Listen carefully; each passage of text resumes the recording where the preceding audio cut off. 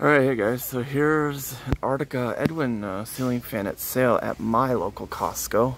I did one at one of my other local ones, but here it is at my local one. So yeah, it's on and off. Let's go back. Yeah. And that's the remote for it right there.